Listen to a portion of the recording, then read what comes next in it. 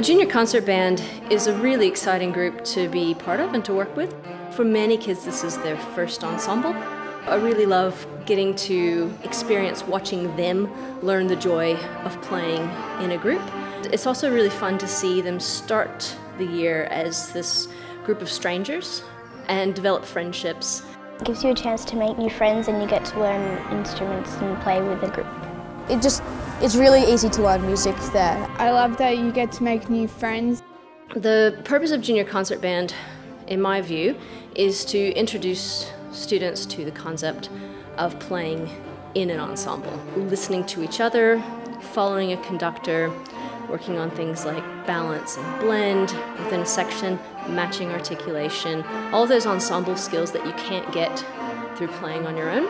You get to learn lots of different pieces that you never heard of before. You get to work in a group with a very good conductor and very good um, tutors. Being part of something bigger than you, learning to put in the effort throughout the week to show up on the Saturday morning and do your best. You get to perform in in concert halls and there's lots of people watching you. It's very thrilling and even if you make a mistake it's like oh who, who cares it's not, it's not like anyone's going to notice unless I go oh no. They have stepped outside of their comfort zone and tried something new and had a really successful and positive experience.